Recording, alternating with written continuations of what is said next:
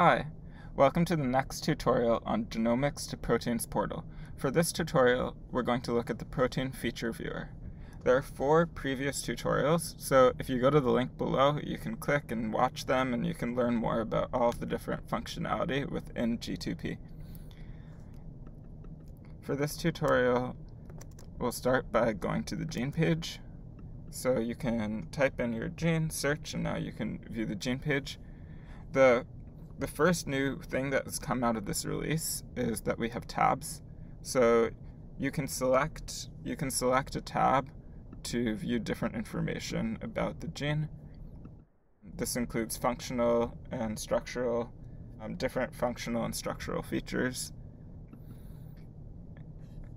Okay, so in the first tab, you have the protein feature viewer. So um, you can you can now easily take lots of different sequence level information, lots of information that's mapped to the protein sequence, and you can integrate it from many different data sources for your analysis. Just to go through a few a few of the different kinds of data, you have physical chemical properties, structural features, which include features based on experimental structure, so that's PDB structure um, and data based on predicted structure, so that's AlphaFold structure based data. And you have UniProt sequence features, so those are annotations from UniProt, PTM annotations from PhosphoSitePlus, so that's phosphorylation, acetylation, methylation annotations. And then you have experimental data like the MAVES. So these are assay based results from MAVEDB and you can see kind of those top 99 and bottom 99th percentile results um, from the assays.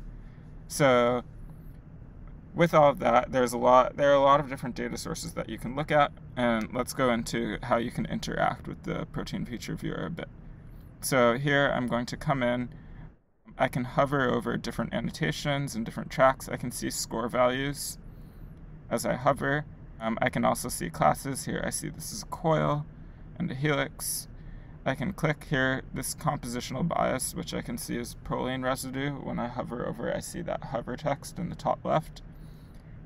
Now I'll click on it and it will highlight the column so I can see all the overlapping features. In this case, I see these overlapping annotations from this MAVE assay, which I may want to explore more.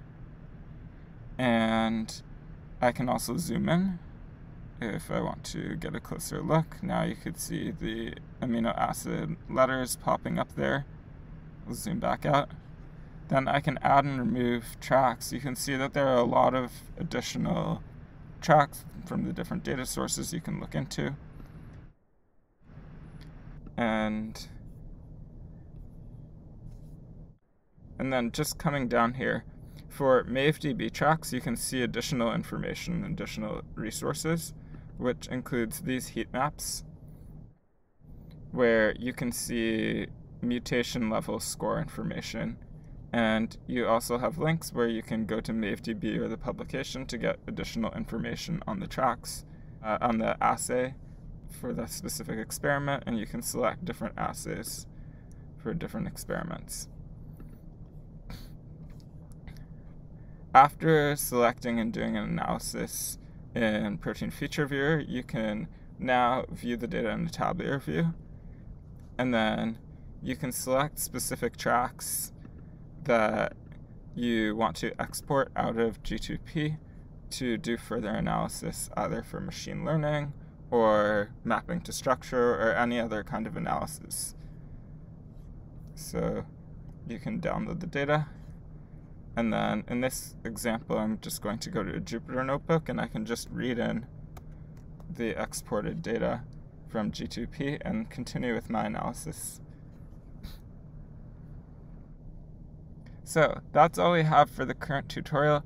If you're interested in being notified when new tutorials come online, then you can subscribe to this channel.